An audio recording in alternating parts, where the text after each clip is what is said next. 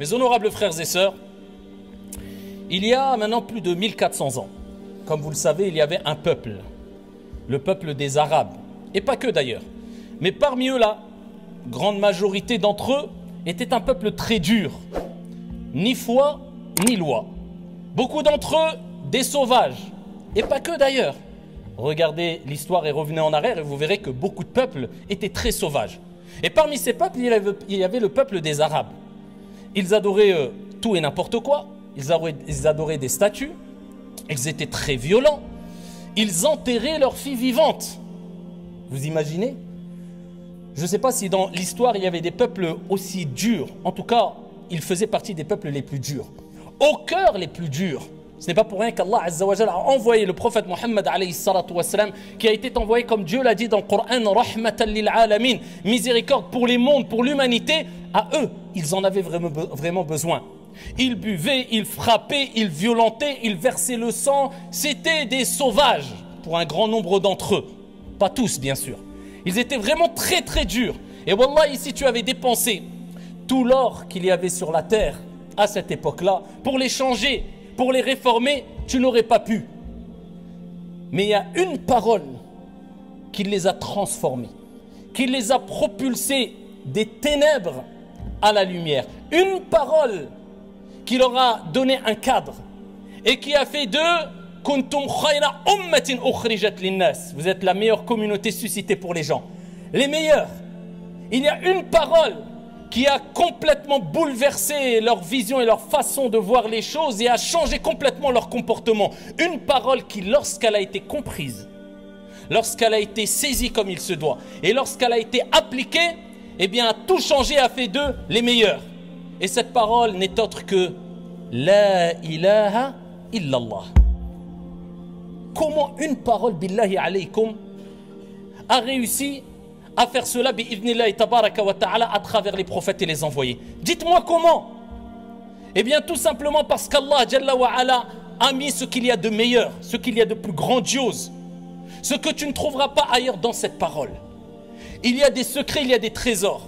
Et si tu arrives à saisir ces trésors et ces secrets qui se trouvent dans cette parole là ilaha illallah, qui n'est pas simplement une parole qu'on prononce comme ça vainement, ou alors un titre dans une khutbah ou dans une conférence pour se donner bonne conscience et dire aux gens, vous avez vu, moi je parle du tawhid, masha'Allah.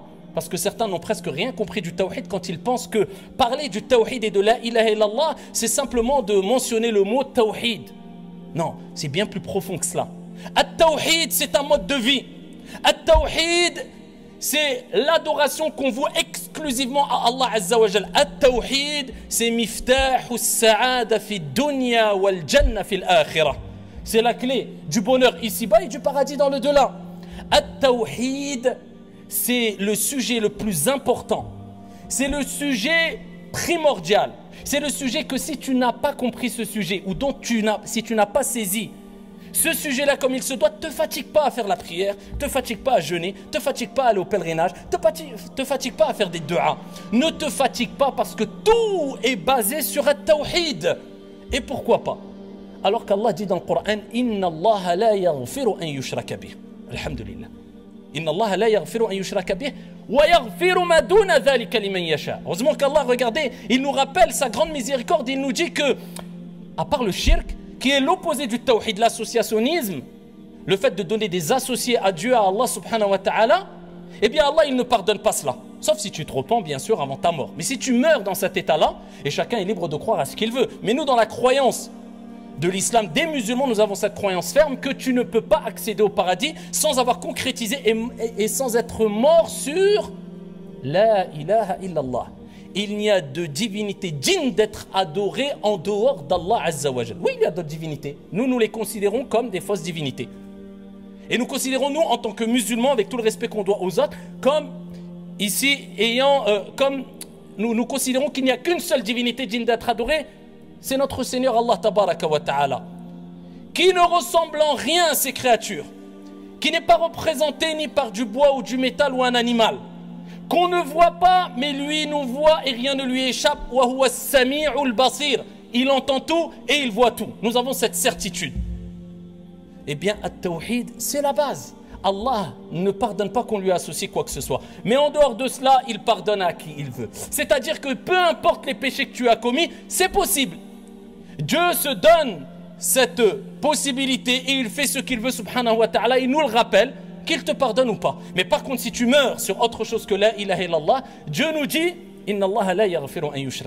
Et c'est pour cela que le prophète sallallahu alayhi wa, alayhi wa sallam nous dit, Man mata la yushriku billahi shay'an dakhala al-jannah. Celui qui meurt alors qu'il n'a donné aucun associé à Allah subhanahu wa ta'ala. Mais on va voir, hein, c'est pas simplement euh, Ah, c'est bon, je n'adore pas de statut. Moi, je suis dans Tawhid et j'ai adoré Allah comme il se doit. Non, c'est beaucoup plus profond que cela, vous allez le voir.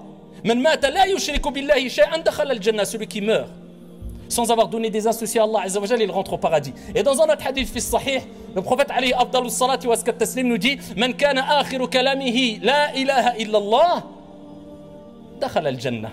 Et c'est pour cela qu'il est important de répéter au plus La ilaha illallah jusqu'à ton dernier souffle. Le prophète il nous dit alayhi salatu wassalam, celui qui meurt et celui dont la dernière parole est La ilaha illallah, il rentre au paradis.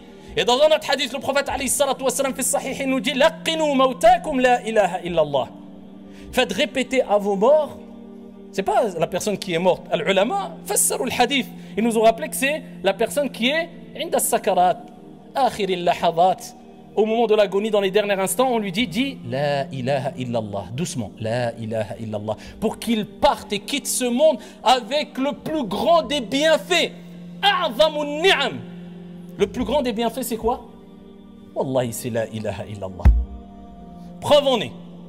Dans Surat al-Nahl, Surat al-Nahl, les abeilles, elle est appelée comment cette surat Surat al-Ni'am.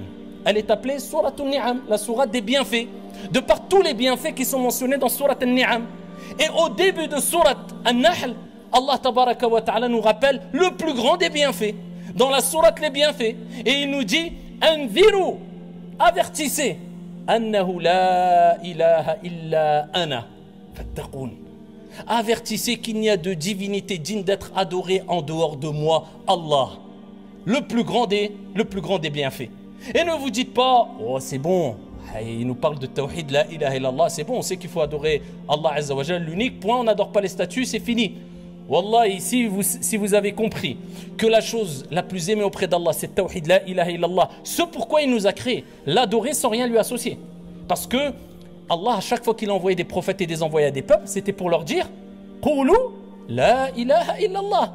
Tous les prophètes, Adam, Moussa, Isa, Nuh, Ibrahim, prophètes, envoyés, tout le monde a appelé à la même chose, la ilaha illallah. C'est qu'il y a une raison, c'est que c'est très important. Et donc si c'est la chose la plus importante et la plus aimée auprès d'Allah, donc ça sera la chose sur laquelle va se concentrer le plus Shaitan et va tout faire pour nous détourner de Tawhid. Et c'est pour cela que notre père, Ibrahim alayhi salam, Allah a fait son, dont Allah a fait son éloge maintes et maintes fois dans le Coran, à travers son, adoration qui vouait exclusivement à Allah Azza wa Jal.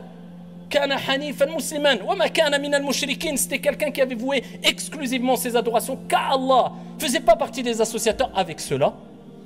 Ibrahim alayhi salam, il fait une dua qui est mentionnée dans le Coran et regardez ce qu'il dit Wajnubni wa baniya an na'bud al-asnam. Ya Allah. Il rappelle, je suis pas à l'abri. Ya Allah, préserve-moi et mon fils d'adorer les statues. Subhanallah. Donc si Ibrahim salam disait Ya Allah, préserve-moi de, de, de ne pas tomber dans le shirk, j'ai peur de tomber dans le shirk, il craignait cela. Comment nous, on va être trop sûr de nous et nous dire Ouais, c'est bon, il n'y a pas d'inquiétude, parle-moi d'autre chose. C'est le sujet le plus important.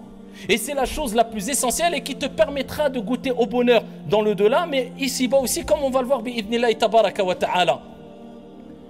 Et les mérites de Tawhid et de la concrétisation du Tawhid sont énormes. Ils sont énormes. Permettez-moi de continuer sur cette lancée avec le grand mérite de la ilaha illallah. On a dit celui dont la dernière parole est la ilaha illallah, al-jannah. Mais attention, c'est celui qui l'a dit khalisan lillahi azza wa avec sincérité. Al-ulama, ils sont unanimes sur le fait qu'il a compris le sens. Et on va le voir son sens rapidement et qu'il a mis en application, il a vécu avec le tawhid, avec l'unicité d'Allah. Pas toi tu dis la ilaha illallah et après quand tu vas te faire un sacrifice le jour de l'Eid, tu vas dire c'est pour Sidi Foulan. Alors qu'Allah dit dans le Coran, Fasalli li rabbika, wanhar. Et prie pour ton Seigneur et sacrifie pour qui? Pour Allah. Tu dis Bismillah, pas Bismillah, Sidi Fulan ou la Sidi Allan ou la. Allah dit dans le Coran, Qul inna salati wa nusuki wa mahyaya wa mamat liman. Lillahi Rabbil Alamin. Dis, ma vie, ma mort, Qul inna salati wa nusuki, ma prière, mes actes de dévotion, ma vie et ma mort ne sont que pour Allah Azza wa Jal, Seigneur, Seigneur des mondes. Donc tu concrétises vraiment tawhid. Et eh bien celui qui a concrétisé vraiment tawhid, il a vécu avec l'unicité d'Allah subhanahu wa ta'ala, on va le voir un peu plus dans les détails, regardez le mérite. Parmi les mérites, eh bien le prophète alayhi salatu wa sallam fait sahih. Il nous dit qu'au jour de la résurrection, eh bien Allah tabaraka wa ta'ala apportera une personne qui aura 99 registres de sayyi'at, de ma'asi, de dhunub, de péché. 99 Et ils disent chaque registre, eh bien, tu peux regarder jusqu'à l'horizon, tu vois tu vois les registres. 99. Eh bien, Allah Azza wa lui dira, est-ce que tu as fait quelque chose de bien? Avec tout, le, tout ça, 80, y a, au moins y a un khair que tu as fait, il dira quoi? Pourra pas mentir? Ce jour-là, au jour de la résurrection, aujourd'hui, tu peux te mentir à toi-même, tu peux mentir aux gens, tu peux essayer de détourner les choses. Le, jour de la résurrection, comme Allah a dit dans le Coran, leur langue témoignera pour eux ou contre eux. ainsi que leurs mains, ainsi que leurs pieds, concernant ce qu'ils faisaient. Ça y est, tu ne pourras plus mentir et te détourner. Et les gens reprocheront même à leurs membres. Et ils diront, pourquoi Pourquoi vous témoignez contre, contre moi? Il parlera à sa main, il parlera à sa jambe, il parlera à sa peau. Et la peau, les mains, les pieds, tout parlera, la langue parlera contre toi, contre nous, qu'Allah nous en préserve. Si on fait partie des désobéissants et de ceux qui n'ont pas reçu la miséricorde d'Allah ta'ala. Et, ils, diront, ils diront, la peau dira, et la main, et la langue. Eh bien, celui qui fait parler toutes choses nous a fait parler et témoigner. Eh bien, il dira, Ya Allah, j'ai rien fait de bien. Walou. Allah, il dira, si, tu as fait une chose de bien. Il va dire, regarde, sur un plateau de la balance, 99 registres de, mauvaises actions, et sur l'autre, il y aura une étiquette, c'est-à-dire un feuillet. Juste une. Et qu'est-ce qu'il y aura écrit dessus? La ilaha illallah. Kalimatut tawhid. La parole qui ouvre toutes les portes du bien et du paradis. Eh bien, cette parole-là, elle aura été dite par cette personne avec sincérité. Il aura compris son sens. Et il aura dit sincèrement, eh bien, Allah Azzawajal ne le laissera pas éternellement dans le mal, dans le châtiment. Dans... Non, ce n'est pas possible. Allah Azzawajal posera cette étiquette, ordonnera que cette étiquette soit posée avec cette parole-là, ilaha illallah, et elle sera plus lourde que les 99 registres de mauvaises actions. Ça ne veut pas dire qu'on on peut dire la ilaha et faire ce qu'on veut. Non, non, non. À quel moment il sera pardonné? Euh, Est-ce qu'il aura avant cela eu des tourments ou pas Allahu a'lam. Mais en tout cas, un jour ou un autre, celui qui a dit la ilaha illallah sincèrement et a vécu avec, eh bien, il gagnera le paradis, inshallah ta'ala. Bien sûr, à côté, on doit prouver cela avec la piété envers Allah et le bon comportement envers les gens. Et c'est pour cela qu'Allah dit dans le Coran Inna alladhina qalu rabbuna Allah. Ceux qui ont dit notre Seigneur est Allah. La ilaha illallah. Mais est-ce qu'Allah s'est arrêté là? Ensuite, ils se sont tenus sur la droiture, c'est-à-dire, comme on dit il, il a adoré Allah tabaraka wa ta'ala sincèrement et avec conformité. Donc, il a mis en application les enseignements coraniques, divins et prophétiques concernant ta relation avec autrui et la relation avec Dieu.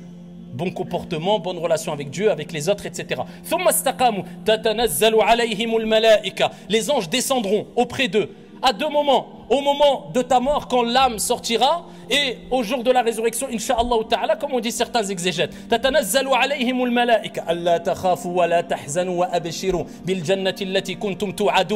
N'ayez pas peur, parce que les gens seront choqués quand l'âme va sortir. Les gens ne verront plus que ton corps. Mais maintenant, c'est entre toi et Allah. Tu rends des comptes.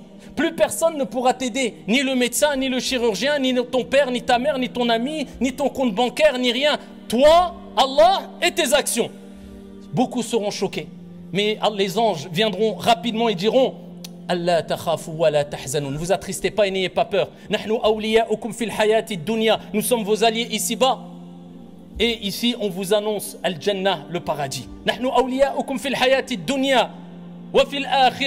Et ainsi que dans l'au-delà. Donc, on comprend qu'il y a Al-Istiqama. On doit mettre en application, en application cela. At-Tawhid, At-Tawhid. Moussa salam, comme il est relaté dans le hadith rapporté par Ibn Hibban et d'autres. Regardez l'importance de Tawhid. Il demande à Allah, il fait une dua. C'est le prophète salam qui nous dit cela. Il nous dit Moïse, Moussa salam a demandé à Allah. Il dit à Allah, accorde-moi un dhikr, une invocation. Il voulait quelque chose de spécifique à lui, que je dirais. Alors, on peut s'imaginer qu'Allah lui dit, lui donne une belle et grande invocation assez compliquée, complexe, particulière, réservée à Moussa salam et qu'il dira, il voulait quelque chose de particulier.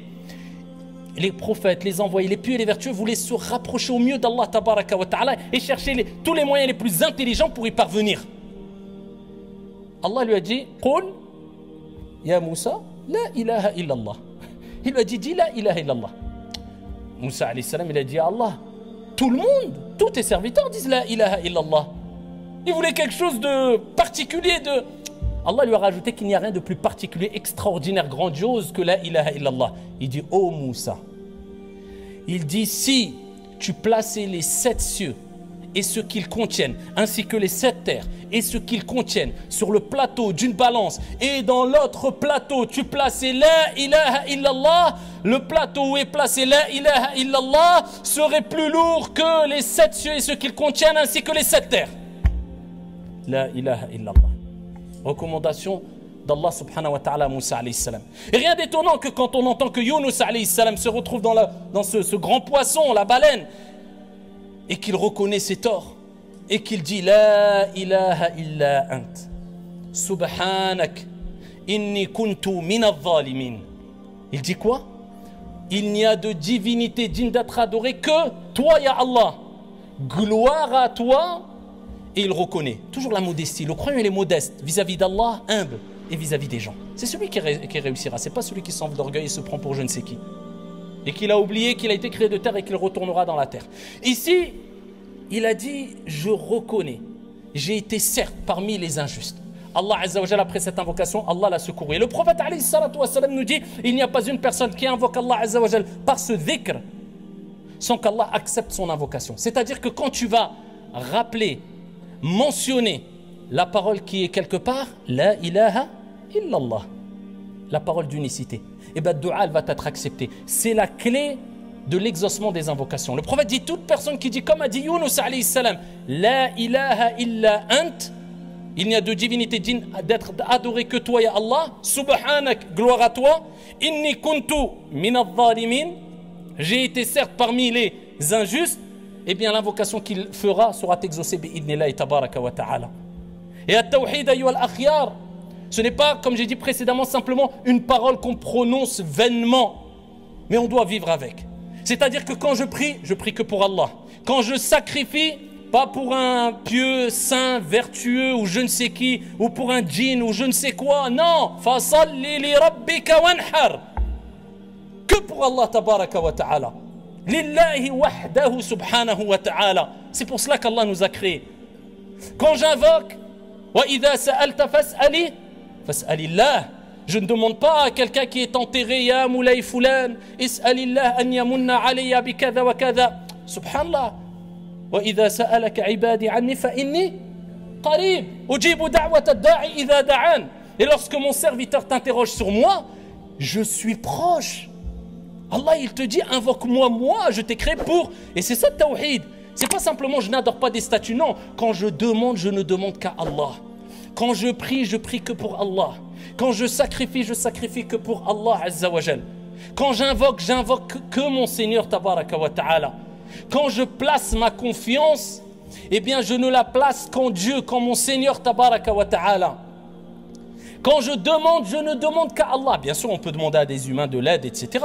Mais tu ne peux pas demander à des humains une chose qui, seul Allah peut te l'accorder. Par exemple, tu es au milieu de la mer, tu es dans un bateau échoué, personne ne peut t'aider, tu vas dire Oh Sidi Foulen, ou tu vas appeler ta maman, ton papa ou je ne sais qui. Là, c'est du shirk. Tu as mis au même degré la personne que tu invoques est Allah Azzawajal en considérant qu'elle peut t'apporter secours comme Allah peut t'accorder secours. Et ça, c'est le grand shirk. Shirkul Akbar, qui fait sortir de l'islam. Donc quand tu demandes, tu demandes qu'à Allah Azzawajal.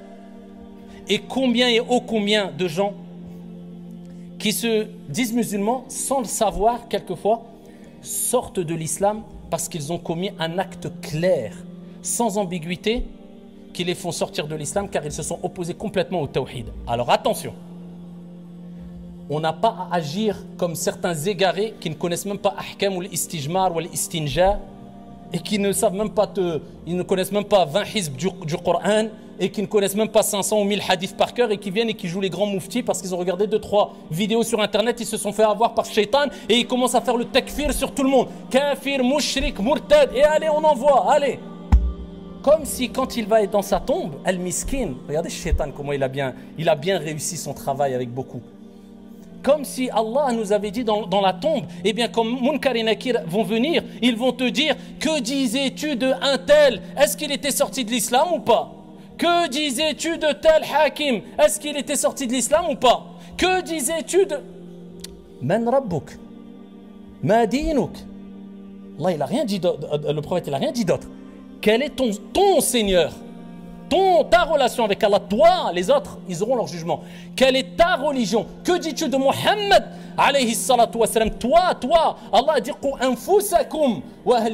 préservez, préservez vos personnes et vos familles du feu. Avant de t'occuper des autres et jouer au grand moufti pour sortir les gens de l'islam, attention et mille fois attention. Le prophète il nous dit alayhi salatu celui qui dit à son frère anta kafir, tu es mécréant, tu es sorti de l'islam, un des deux le devient.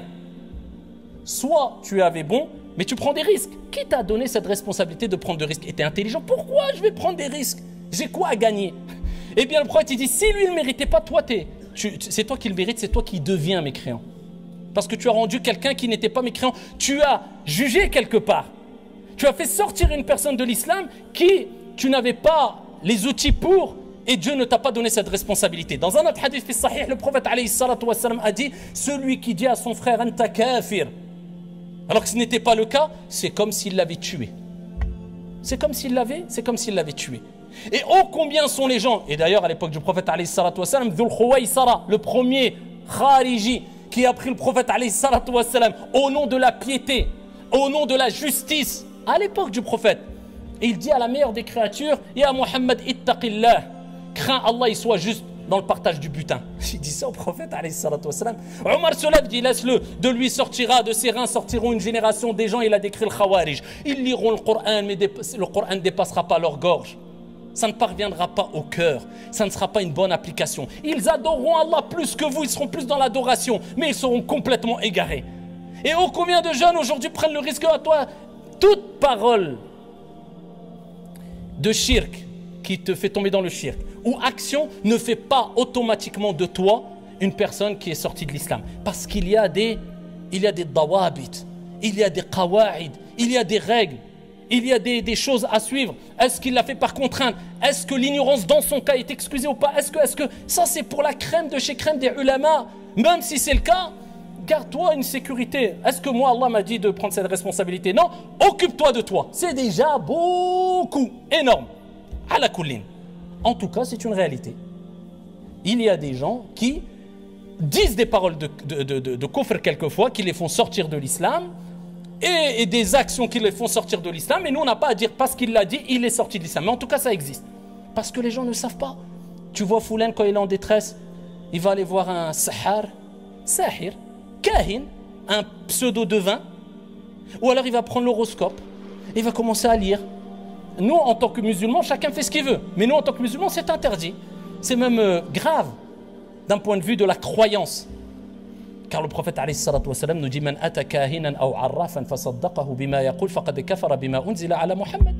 Sallallahu.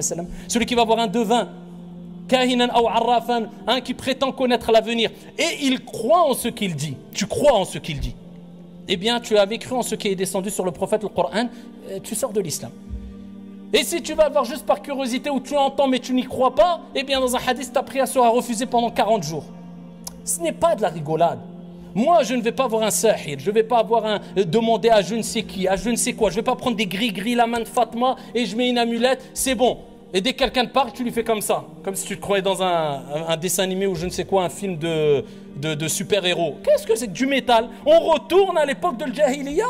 Toi, tu dis Tawhid, moi j'ai tout compris. Bah pourquoi tu mets une grosse main devant la porte de chez toi comme ça Zama, ça va te protéger. Les yeux sont tellement puissants, ça va détruire toi, ta main et ta maison. Si tu n'as pas fait ton dhikr, si tu n'as pas concrétisé le Tawhid, la solution elle est dans les invocations du soir et du matin. Donc, Qul a'udhu bi rabbil falaq. Donc, Qul a'udhu bi nas, trois fois le matin et trois fois le soir. C'est pas dans du métal ou dans un gris-gris que tu vas mettre dans ta poche. Quand il t'arrive des problèmes et des soucis, tu es dépassé, t'en peux plus, et tu es au bord du suicide. T'as pas concrétisé le tawhid parce que t'as pas compris qu'au-dessus de tes soucis, de toi, et celui qui peut gérer, et celui qui peut te délivrer en moins d'une fraction de seconde en disant kun fayakun, soit et c'est de tes soucis, c'est Allah. Mais est-ce que tu lui as demandé? Est-ce que tu sais et tu as compris qu'Allah dit la nafsan illa Allah ne donne pas une âme une charge au-dessus de sa capacité. Est-ce que tu as compris que de toute manière Allah voit tout c'est tout et il ne te surchargera pas d'une manière que tu ne pourras pas supporter? Lorsque tu te maries, lorsque tu divorces, lorsque tu vends, lorsque tu achètes, est-ce que tu mets en priorité je sais qu'Allah me voit donc je ne triche pas, je mens pas, je ne trompe pas, je suis équitable, je suis juste. Ça c'est tawhid.